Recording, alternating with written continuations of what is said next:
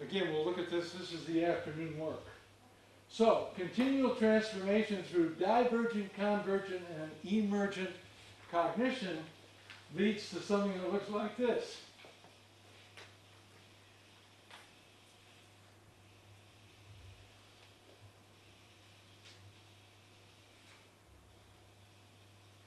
The idea being, as those circles that we drew originally converge, as you become more authentic, as you become more appreciative, as you become more creative, as you become more motivated and transforming in your lifestyle, they come together and the, the center part representing creative interchange expands in your life.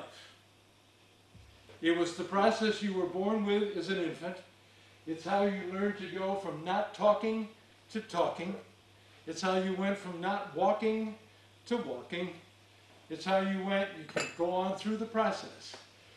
It is how you've moved from whatever you thought when you were 20 to what you think today and what you can think tomorrow. The exciting, exciting part of my life right now is you know I'll be what 40 next week. When my 40th birthday comes, I can walk, I can start at the top of my hill and do my little walk in Tennessee down to the major highway and walk back, and that's a mile, and I usually do that two or three times a day. I know that the Charlie Palmgren that starts out on that walk on that particular day will not be the same Charlie Palmgren that finishes that walk on that day. I, and I do not know exactly who he will be. I have a good hunch. Unfortunately, he will look a lot like he did before he started and came back, a little sweatier. But the mind itself is constantly transforming. And you realize that's what we were made for. We were made to be life learners. We were made to see new horizons. We were made to see things and appreciate things that I couldn't understand or see or appreciate yesterday. I can today. And I didn't do it. My created self, my prism inside with the colors set, did not change it. You know what did? The exposure to the white pure light or of awareness permeated more and more of the structures and those do you have what you know what a kaleidoscope is is that familiar to you you remember what happens when you twist it? Mm-hmm. Imagine that's your mind. And it will be reconfigured into ways you never dreamed. And what's really fun is when you do that with other people. Mm-hmm. Wouldn't it be great if you could do that with your spouse with your children with your friends but above all your colleagues who you see every day? Wouldn't that be kind of fun? To live in that world? Feel good about going to work? As opposed to, okay, it's another one of those days, but if I can make it to 5 o'clock, I can have a tufa. Or whatever else you're into. With me? It's called a childlike mind. The Buddha called it the beginner's mind. But it's saying somewhere in that little child was all the potential you could ever dream. But as you grew older and put your child away, you reduced your probability of being able to expand and learn and grow and create every day. Is that the last one? Um, I want to make one observation. I hope you find it clearly as we understand it. And being an engineer, we always uh, explain creative interchange as A, B, C, D, four characteristics, mostly linear. I'm an engineer. This slide conveys that the reality is not the A, B, C, D. There are all four in you. And the child plays with it. It's not from A to B, it can be from C to A, whatever. And this slide is the best until now. You have tried the DNA uh, helix or whatever to explain what's going on in the child's mind. But to explain it, even my book, Crucial Dialogue model, is still a A, B, C, D. I tried it with a landscape and coming back to at the, at the beginning. But that's better, even better. It's, it's all in, in, it's in our mind. It's in our genes. At the moment you split it, perhaps you lose it. Reminds me of uh, Peter Senge once said, what is a cow if you split it in two? what do you have? Two cows. No. Two small cows? No. A dead cow. A dead cow, beef. The system is dead. The child is a living system.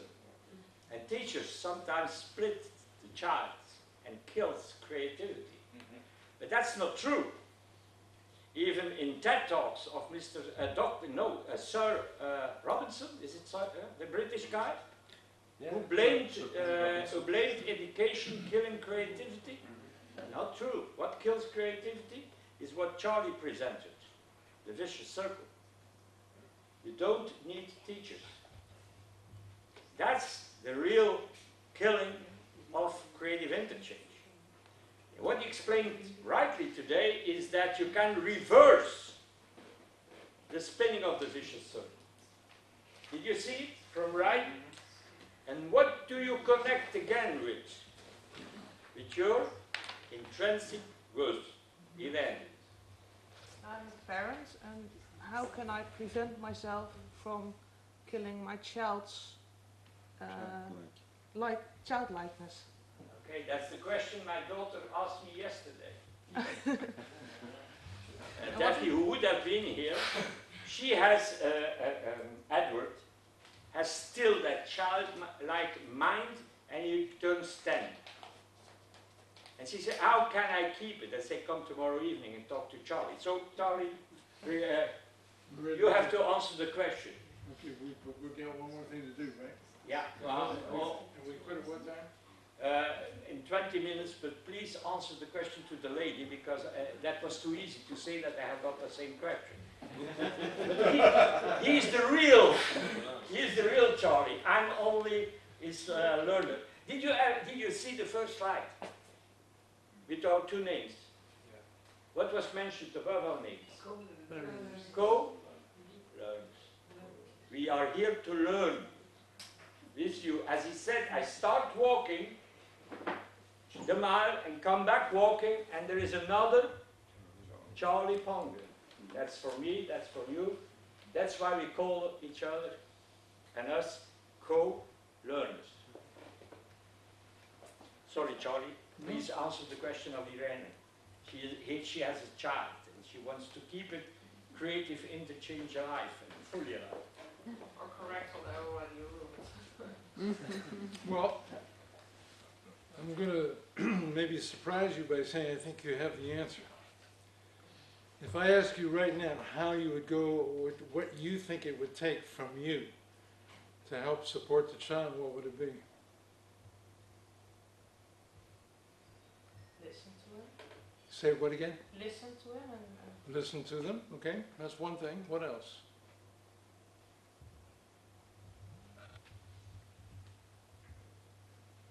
Now you need to help me because The key is, when you're back in touch with this mind, your child will recognize it. Okay? yeah. So the more you can engage in an appreciative, creative, imaginative, consistent way, Be a role model. as you change, your child will then realize that some of the things they're having maybe to feel like they need to put away, they don't have to put away. They can be an adult and still play. Because mama still knows how to play. Mama still knows how to come up with really crazy ideas. But it cannot take me years to incom- incorporate this in a fully full way. It's not like you said. It's not we're gonna walk out today and do this by tomorrow. So he's now So when do you think you ought to get started? today. No, no. now. The faster the better. Is it gonna take time, or are you gonna make mistakes? Of course you are. Do I still make mistakes and get in trouble with it? You bet your booties I do. But the issue is, I still keep working on it. And that's all anybody can do. But you'll find that people will react to you differently over time. And you may not know why. And they may not know either. Except you begin to allow something to come out of them that they did not realize was there. And so a lot of this process is beyond the conscious mind as we currently understand and define the conscious mind. If you realize that a part of who you are is a creative awareness, and more of that begins to seep in or become a part of this world, it says I can still, you know, maintain myself and not go crazy or what have you, but at the same time, I can experience stuff far beyond what my little world otherwise permits. And what we, we, well, maybe later today we'll take that another step further. But I would say the key for you is start where you are and move yourself back toward who you also are. You don't have to learn to be your creative self. You have to just simply learn to let go of insisting on being your conscious self all the time. Because nobody's told you that you're sitting on a gold mine of options and ideas and possibilities. Or they've said it, but another part of you says, yeah, yeah, yeah, I've heard that being. and it goes. Until you, quote, appreciate that that's in you, and part of you, and beyond you. And that when you begin to get interludes where you taste it, and you begin to gain more confidence that, hey, it is there. It really does work. When people do that, they discover that they have something in common that they've never had in common before. It's what they knew as a small child. That's why some children, you know, have to work very, very hard to teach them to, to dislike somebody's skin color different than their own. Because they're busy playing with those children until somebody teaches them, no, you don't play with that child anymore. Uh, Charlie, and in this process of engaging, transformation, being, becoming more uh, authentic, is it possible that as you grow, as you walk on that path, sometimes you have the impression that uh, the old system becomes even more aggressively, it tries to hold on very excessively. And I mean, I've, I've been married for 17 years and I've been working on this process. I never could have imagined that perhaps I needed a particular kind of crisis to grow. Because is that uh, as Well, I'm yeah, saying it, it sounds the issue is though, you could, you could draw the conclusion from that though, because I needed a certain kind of crisis, that my job now is to create crises for everybody else, so they can grow like I did. See, But there that might would be be my some consciousness. faster learners than you, you see. My bias is the more you see it and experience it, the more you'll be drawn to it. Mhm. Yeah, once once you've opened that door, it's it's so amazing that you and it becomes more easy and more easy to keep on opening it, and you can open it further and further. Exactly. Um, but sometimes it's like an old force comes in and smashes it back again, Exactly. closes, smashes it, closes it. But hopefully your recovery time is much quicker. Aha. Yeah. Yeah. Your recovery time will be much quicker. I want to try one more thing before we break. One, one comment, uh, I had the same thing, the moment I changed from uh, safety to creative interchange and to start to mingle it, the old system, safety guys, even my own partner in France, which I brought over to see the light. He didn't want to see the light and he was got angry and angry and angry, wanted to pull me back to the old Johan. He literally said, I don't like the new Johan. Don't do that, Johan. Don't do that. Yeah, yeah, That's uh, so so, so it's familiar to have resistance. That's why I, I always ask teams like management team, you have to be there together. Because if it's only one guy, he will be killed by the seven others. If they don't want to play all seven, it is a mess. And- and Because you have to go to the vulnerability and the old system, and if it is in a chain, a bit unique, eh? Uh, in total, France, eh? uh, it's, it's very difficult. But let's start with our own, Yeah, And when you in our own life. and when you realize, Johan, how many teachers of the old system where the pouring in is so important exist, you understand a little bit. Yeah, yeah. I, that's why I I went to the interfered. That's why I interfered because that's reality, Mhm. and it's your choice, Mhm. and it's not Sophie's choice. Charlie, Go ahead, John. Charlie, Johan, we're talking about the crisis you're going through. People say, yeah, we're not going to open the box because we don't want to have a crisis. What will be then the effect? Because you come with, a s with an option or a solution or an idea, we have to confront ourselves with the brutal facts. But we are afraid that it will become a crisis. How do we, or if somebody has an idea, how you manage that? Because Think you have to about what you're, what, when you quote, perceive being a, a crisis, who's generating the emotion at that moment? the, the one who will need to go through the crisis.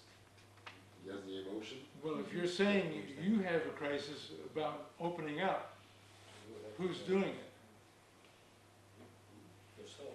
Uh, probably, yeah.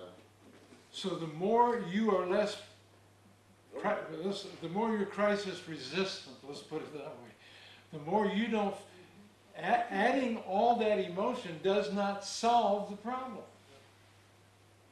It increases the probability that you will handle it less creatively and resort to what you think at least has got the best chance of surviving, realizing you've cut off all kinds of possibilities because you're down to being more fearful than you are open and creative.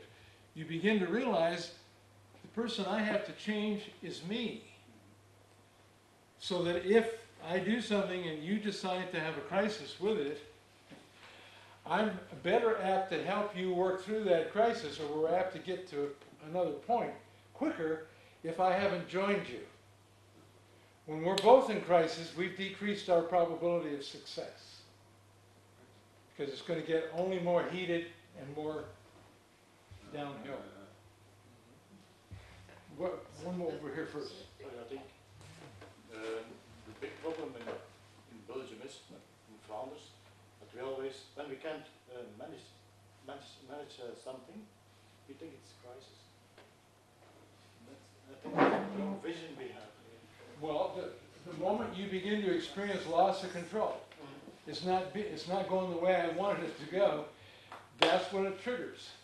Mm-hmm. And the key is learning, it. well, I don't have to get so bent out of shape every time it happens, because if I can stay a little calmer, I've got a better probability of getting through this than if I panic. But on the other hand, we've been conditioned to panic, and that's supposed to be our security. I'm either going to fight, flight, freeze. Mm-hmm. And the answer is creating might be a better option. But I'm not ready to do that once the chemicals are there. That takes more effort on the person's. It does originally.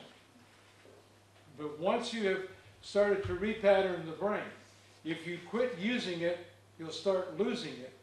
And then our other cutesy phrases are, you know, the, uh, the cells that fire together wire together. In other words, the more you fire the same cells, the brain tends to connect them and start networking them. Or another way of saying it is uh, link and sync. Once they are linked, they can sync. And, and what we had not realized before is it starts happening in a matter of minutes to hours, not days, weeks, months. But what has to be there is the motivation to keep firing them so they can wire or link and sync. Otherwise, you will revert back to what has been often referred to as, quote, hardwiring. But I think a lot of people think hardwiring means that once the hardwire is in place, you can never change it. What we're learning in neuroscience is that is not true. But it does take some energy and effort and commitment. That's why that last one, if you want to go and see your life transformed, then you got to be committed to that experience and practice what it takes. i.e. being authentic, appreciative, and creative. Okay, so it all fits back together again. Yes? A very difficult concept for me is authenticity, because most of our time we are acting in a role, for instance, parents and children. Uh, yeah, you can discuss intrinsically we are e- equally, but if you are acting in a role as parent children, then then what is authenticity? What is uh, and you always are acting in, in, in one or another role. And that's for me a very difficult Well, it- it- concept to, to It's to one of the major residuals of the current system. The current system relies on game playing, on manipulating other people, on not ever letting them see you sweat, so to speak. In other words, you, we've all got our masks on, and we're committed to that, and that's our current hardwiring, so to speak. And so we'll revert to it immediately as soon as we see something beginning to happen. Becoming authentic is very much a difficult task, but we'll try to show you how to do that. But if you're the only one doing it, it takes courage. You have to be convinced that when they turn on me, and they all are calling me whatever they call you, I don't know what, what names they may call you, when, but the point is, those names don't have to have the same effect they had last week. And what happens is they realize you're changing.